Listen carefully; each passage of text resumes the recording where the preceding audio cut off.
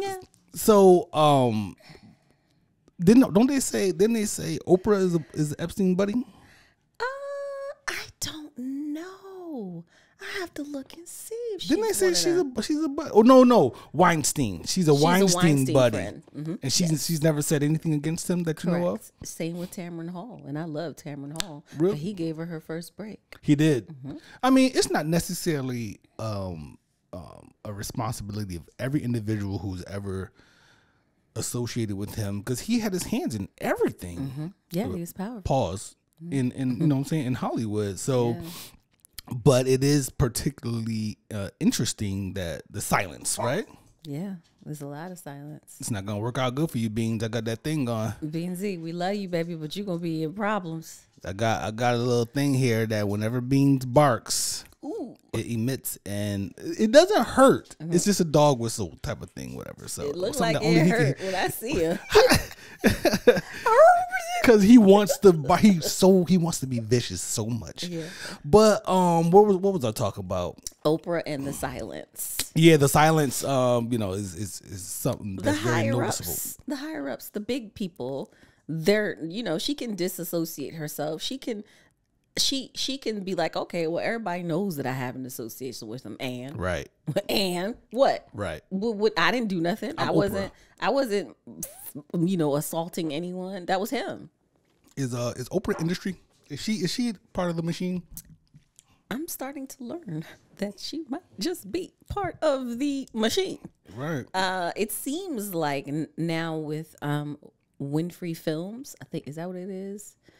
That's where this color purple thing came out. Yeah, that's the production company that put. I think it's Winfrey Films or OW Films, OW Films, because it comes on when the color purple comes up. It's very clear Oh, okay. that her company is first. Of course. Um, and it appears that, you know, in the making and the rollout and all the things of this movie, Oprah has been very hands on, very Mm. involved, very much about getting all of us to the theaters Right. to make it a number one movie. Which you should do if you have your money and you know behind your name behind something and whatnot. Absolutely. But as far as not paying folk or Right. allegedly not paying Right, people, right. and kind of what we've seen over the press junket, uh, that maybe there's some tension on the press front. Right. And I know we, you know, we've been we were on break, so we didn't talk about this when it happened. Happened, but um, so the, the you know we don't have to dive into Taraji. Of course, she Taraji came out Mm-hmm. and basically talk about the the pay disparities in Hollywood.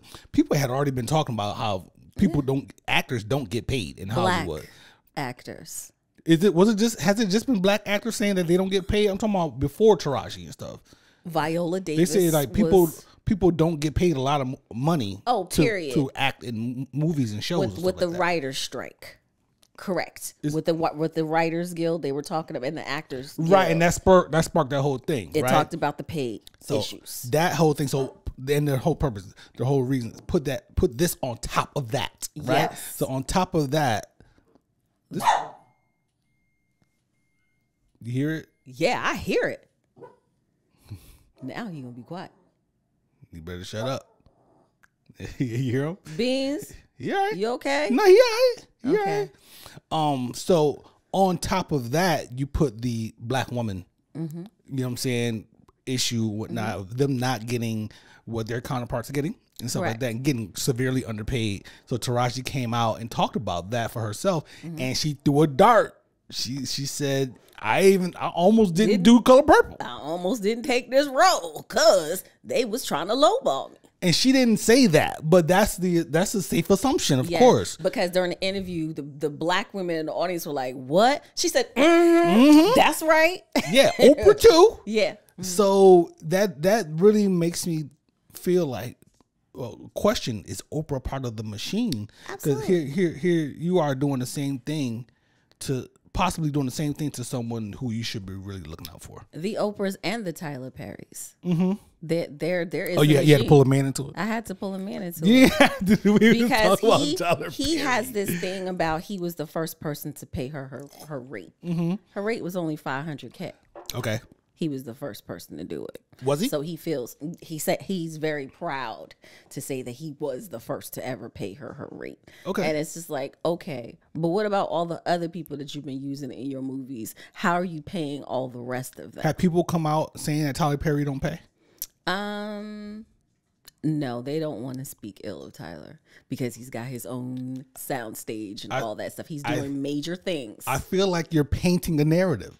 Am I? Yeah, where where is the Tyler Perry criticism coming from? There is the the Tyler Perry criticism. Well, his crap shows his from? Well, crap yeah, I mean, I don't watch Tyler Perry movies and whatnot, but where where you know what I'm saying the criticism itself? Like, Right. why does he deserve to be thrown in there with this Oprah conversation?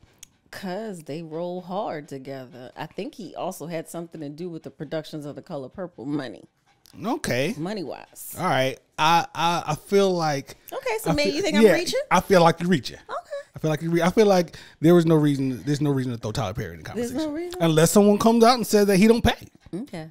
You know what I mean? So right now, But when you talk about the machine, itself, Yeah, the Hollywood machine. The Hollywood is machine. Typically, we see we look at that those folks, and this the Harvey Weinstein's, Mm-hmm. the the white folks running that situation, not paying black folks, specifically black women and whatnot. And Oprah with uh, Taraji's statement Mm-hmm. seems like she's part of that. Like she's ta- saying, "Damn, Oprah almost Oprah wasn't paying me. I almost didn't do this shit." It's o- it's okay Mm-hmm. for a black woman to take this criticism if if she's guilty of it. Oh, absolutely. Is It she called out by another black woman? the budget was a hundred million dollars. Did Oprah direct The Color Purple? The 2023 is directed by Blitz Bazawule, who was helmed Beyonce's Black Black is King. Marcus Gardley of The Chi wrote the script, which Oprah says is now infused with a kind of magical realism. So the the, Yes. the the the fact is that when she said that, everybody looked at Oprah. So then Oprah is now doing cleanup. It looks like cleanup, doesn't it? It does look like cleanup. It looks like, t- first of all, tonight, the interview, Taraji and We're Oprah. on Saturday. one on one uh, on HBO Max at 10 p.m. This interview is coming out. So we don't know what this interview is what's going to be said. We just know that all of a sudden she's sitting down with her. But Oprah has sat down with other members of the cast. Right. But this, It's come on, yes. come on, man. And we're coming off of also Taraji's snub. She That's did a right. fantastic job in the movie and she got no nominations. Um, oh, Oscar nominations. so this movie Um, no, made it. no Emmy. Yes, different parts of the film were nominated for different things, and Taraji was snubbed. So the Oscar nominations already came out. The Oscars didn't come out; the Emmys came. but Emmys, isn't it Emmys for TV? yes, and movies. They Is it? acknowledge movies too. I didn't know that. Yes, mm. Oh, Golden Globes. Maybe it was is it Golden Globes? I thought Emmys was just TV. I don't know. But that's an industry thing. That's not an Oprah thing, Right, to my knowledge. and whatnot. right. I'm just saying, Oprah money looking funny in the light right now. Absolutely. Critics' Choice, Golden Globes. Golden Globes. Danielle Brooks and Fantasia were nominated. Taraji was not. You watched the movie. Do you feel like she had a, a an Oscar worthy performance? Even though we're talking about Golden Globes, She did a great job. Fantasia does a phenomenal job. Mm-hmm. Danielle Brooks does a phenomenal job. I don't know if the Shug Avery role is an Oscar or, but she did a great job because I didn't even know Taraji could sing you know, until this movie. right? You know, more more goes into these awards and stuff than just doing a great job. Right And so, if you're like, if you're being a disruptor like Taraji is being, now, you're probably not gonna get nominated. now she's in the Mo'Nique category. Almost, not Almost. quite, but Not yes, quite, but you're right. You're She's right. in the Mo'Nique, and Mo'Nique got nominated. M- Mo'Nique jumped out the window with hers. She didn't do the politics of the the of for the role to get the win. Right, She didn't want to play the game. right. So yeah, But don't forget, she did name Tyler Perry. She did name Lee Daniels, and she did name Oprah. She named the trifecta. No and doubt. She said that none of them wanted to pay her, and no, none of them wanted to do right by her. I don't doubt Tyler Perry is uh, un- Oh, has yeah. underpaid anyone Yeah. or any of the, these people because they are all capitalists. Right. And Right. they make money. Right. The goal is just to make a, a lot of money. And I'm not saying Make it back. A hundred million dollar movie is a lot of money, it is. and you got to make that back. Yeah, you're running a business. You Yeah, know what I'm saying? So and but yeah, so the goal is to make a bunch of money and it's not about some moral stance or making sure our black actors are getting whatever, whatever. But And from my from my perspective, that is watching these people. I got it. But out the gate, did you see the comparison that was running on Instagram of Taraji and Ellen Pompeo? Ellen Pompeo is from Grey's Anatomy. Oh yeah, I The saw pay- that. The pay gap. Yep. It's The nasty. pay gap for black people, black actresses. Out the gate, the pay gap is crazy. Taraji has all these accolades, Mm-hmm. accolades, and Homegirl got like two things. She just did Just Grey's she just did Grey's Anatomy. That's it. and and got a five hundred thousand dollar bonus, and then she was getting so many hundred thousand dollars per episode. Now I would be remiss if I didn't Syndicated TV, uh, say what. syndicated TV. right. If I no, if I didn't mention the fact that Taraji fired her whole team Mm. because they didn't capitalize off of that. What's the show? That she, Empire. Lines. Off of Empire. Cookie- so Cookie Lyons thing? there's some responsibility that she took on herself and that she Mm-hmm. has to take on herself because her team clearly she feel like they didn't do a good job and that's on them that's on her it falls on her Got you. But this is not new, and we can go back to Viola It's not. Of Davis. course not. It's not. Viola Davis said, "You say that I am the black Meryl Streep. Pay me Meryl Streep money. straight up Period. straight up And, and these, viola's that nigga these women are classically trained. right They're coming out of universities. They're coming out of Juilliard. They're coming out of all these places, and usually got more credentials than some of their white counterparts. yeah And they're not getting paid. they're not getting paid And that's very unfortunate because they're they're trying to live their dream. yes they're they are following their They're passion that they've been following following for a zillion years Because most don't really pop until they turn forty. Right. You gotta, you gotta, you gotta grind it out mm-hmm. for like twenty years or so. Some people, mm-hmm. I'm not gonna say it. I don't. Let me not say this like I have some type of experience with it. But you could be grinding this shit out for 20, 20 years. Mm-hmm.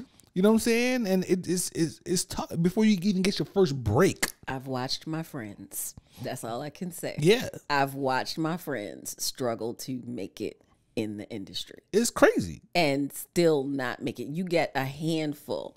The Chadwick Bosemans are not everywhere. Everybody Right. doesn't get a Marvel contract Right, and become Black Panther. right. It just don't happen like that. Don't happen like that for everybody. It's, it's not happening. It's not even the supporting cast. Look at that predominantly supporting cast of Black Panther and think about how many other things they're actually in. Yo, listen. Hollyweird is a place that I don't want to be. Baby, what if the, the podcast gets picked up and they want to put us on, you know, Vice or TBS? Let's or- talk about that.